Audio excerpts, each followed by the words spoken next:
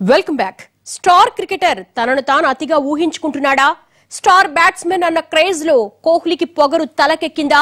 క్రికెట్లో వివాదరహితుడిగా మిస్టర్ పర్ఫెక్ట్గా పేరున్న స్పిన్ దిగ్గజంతో ఎందుకు పేచీ పెట్టుకున్నాడు? ఈ ఇద్దరి వివాదం ఇంతలా హైలైట్ కావడానికి కారణమేంటి? ఏ స్టారడమ్ అయితే విరాట్ను ఫ్యాన్స్ క్రేజ్లో ఎవరెస్ట్ పై నిలిపిందో ఏ దూకుడైతే సచిన్ వారసుడు అన్న పేరు తెచ్చిపెట్టిందో ఇప్పుడు అవే క్వాలిటీస్ అతన్ని పాతాళానికి తొక్కేయబోతున్నాయా? ఇండియాలో the most popular and costly game ఏదైనా ఉందా అని అడిగితే టక్కున వచ్చే సమాధానం క్రికెట్టే ఇక అదే స్థాయిలో మోస్ట్ కాంట్రవర్సియల్ గేమ్ ఏదైనా ఉందా అన్నా దానికి వచ్చే సమాధానం క్రికెట్టే ఇందులో ఆదాయం ఎంత ఉంటుందో వివాదం కూడా అంతే ఉంటుంది. ఏడాది కిందట రెడ్ కార్పెట్ పరిచి మరీ ఆహ్వానించిన కోచ్ ఇప్పుడు ప్లేయర్ల కంట్లో నలుసైపోయాడు. ఒకప్పుడు అతన్ని గ్రేట్ అన్నోళ్ళే ఇప్పుడు వేస్ట్ అంటున్నారు. అప్పట్లో మిస్టర్ పర్ఫెక్ట్ అంటూ ఆకాశానికెత్తిన వాళ్ళు ఇప్పుడు లోపాలు ఎత్తి చూపుతున్నారు. ఆయన వచ్చాక విజయాలు కాదు విజయాలు వచ్చాకే ఆయన వచ్చారంటూ రూటు మారుస్తున్నారు.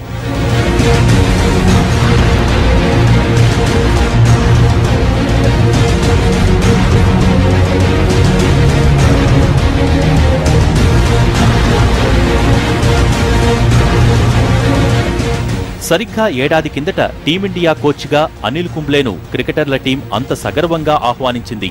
పెద్దన్నగా ఉండి టీమిండియాను నడిపించే బాధ్యతలు అప్పగించింది. కానీ ఇప్పుడు అదే కుంబ్లే టీంతో ఉంటే తాము ఆడటం కూడా కష్టమని ఏకంగా బీసీసీఐకే ప్లేయర్లు వార్నింగ్ ఇచ్చే స్థాయికి వివాదమొచ్చింది. గత కొన్నాళ్ళుగా రథం ఇటీవలే బయటకొచ్చి సంచలనమైంది. నిజానికి చాలా కాలం నుంచే ప్లేయర్లు కుంబ్లే మీద తిరుగుబాటు ధోరణిలో అడుగులేస్తున్నారు. కుంబ్లే చెప్పినట్టు ప్రాక్టీస్ సెషన్లకు రాకపోవటం సీనియర్లు కూడా ప్రాక్టీస్కు డుమ్మా కొట్టడం చేసేవారట. తమకు ఫిట్నెస్ ప్రాబ్లమ్స్ ఉన్నాయని చెబుతున్నా కోచ్ ఎప్పుడూ పట్టించుకోలేదన్న ఆరోపణలు చేస్తున్నారు.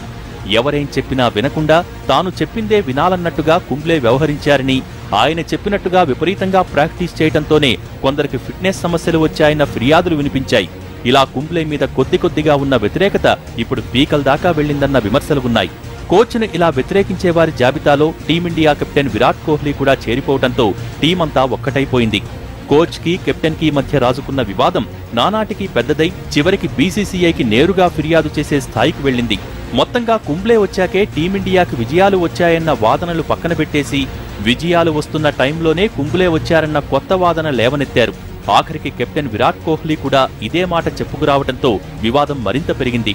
అంటే దీనర్థం కుంబ్లే వల్ల టీమిండియాకి పెద్దగా ఈ పరిస్థితులు ఎంతవరకు వెళ్ళాయంటే అత్యంత గౌరవంగా టీమిండియాలోకి కోచ్గా వచ్చిన కుంబ్లే ఒకానొక సందర్భంలో తీవ్ర అవమానకర పరిస్థితుల్లో వెళ్ళిపోవాల్సి వస్తుందా అన్న పరిస్థితులు తలెత్తాయి.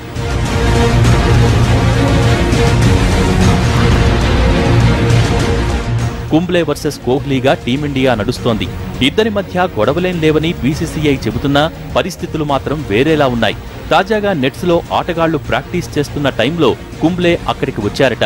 కోచ్ను చూడగానే కోహ్లీ అక్కడి నుంచి లేచి వెళ్ళిపోయారట రీసెంట్గా బయటకు పొక్కిన ఈ ఒక్క విషయం చూస్తే చాలు. టీమిండియాలో కోల్డ్ వార్ ఏ రేంజ్లో నడుస్తోందో అర్థమవుతోంది.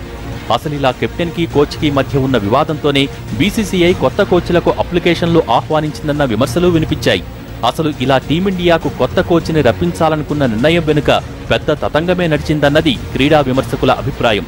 Virat Kohli is also like a player అంటే uh, కోచ్ చెప్పిన మాటలు ఆయన వినాలండి అండ్ ఆయన ఇష్టంలాగా ఆయన మాట్లాడితే అది అది ఆరోగన్స్ అంటాము. చాలామంది మేము చాలా క్యాప్టెన్స్కు చూసాం మేము.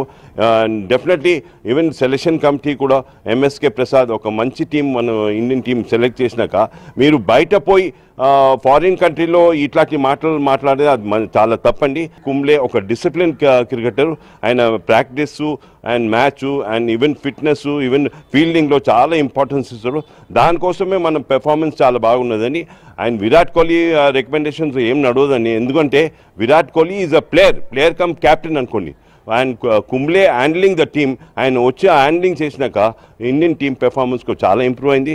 And definitely Kumble should be retain for another two three years మనం ఫారిన్ కోచ్ని పిలుచుకుని మనం ఓడిపోయినా కూడా ఆయన టూ త్రీ ఇయర్స్ ఆయన కోచింగ్ అసైన్మెంట్ ఇస్తే మన కుంబ్లేకి ఎందుకు ఇయ్యారండి? Kumble is one of the also ఈ he's led India I'm sure Kumble should be continued because is a successful coach and Virat Kohli చెప్పిన మాటలు నిన్నలా కుంబ్లేకి కోహ్లీకి మధ్య ఇంత పెద్ద అగాధం తలెత్తడానికి ఓ చిన్న వివాదం దారితీసింది.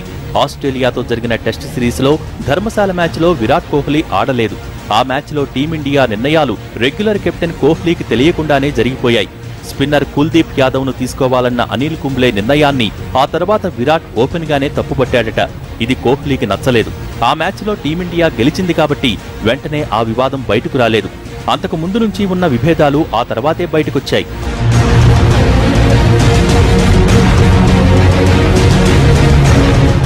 అనిల్ కుంబ్లే మీద ఆగ్రహంగా ఉన్న ప్లేయర్లు రవిశాస్త్రి లాంటి కోచ్ ఉంటే బెటర్ అని బోర్డుకు చెప్పేశారు కూడా. దీంతో టీమిండియాకి కొత్త కోచ్గా రవిశాస్త్రి వస్తారన్న అభిప్రాయాలు వినిపించాయి. నిజానికి కోచ్ను ఎంపిక చేసే పనిని సౌరభ్ గంగూలీ సచిన్ టెండూల్కర్ వివిఎస్ లక్ష్మణ్ కమిటీ చూసుకుంటుంది. గత ఏడాది కూడా ఈ ముగ్గురి కమిటీనే రవిశాస్త్రిని కాదని కుంబ్లేను కోచ్గా ఎంపిక చేసింది. ఇప్పుడున్న పరిస్థితుల్లో కుంబ్లే అయితేనే టీంకి బెటర్ అన్నది కమిటీ కానీ టీంలో కోహ్లీ సహా ఇతర ప్లేయర్లు తమ స్టార్డమ్ చూసుకుని ఇలా రెచ్చిపోతున్నారన్న విమర్శలు ఉన్నాయి. నిజానికి కోచ్ అన్నవాడు ప్లేయర్లతో కాస్త కఠినంగానే వ్యవహరించాలి. ఆడుతూ పాడుతూ ఉంటే టోర్నీల్లో గెలవటం కష్టమన్నది చాలామంది క్రీడా నిపుణుల అభిప్రాయం. కుంబ్లే అదే చేశాడు. కానీ ప్లేయర్లు మాత్రం తమపై కోచ్ ఆధిపత్యాన్ని తట్టుకోలేక ఇలా మూకుమ్మడిగా కుంబ్లేకి వ్యతిరేకంగా అడుగులు వేశారన్న విమర్శలు వినిపిస్తున్నాయి.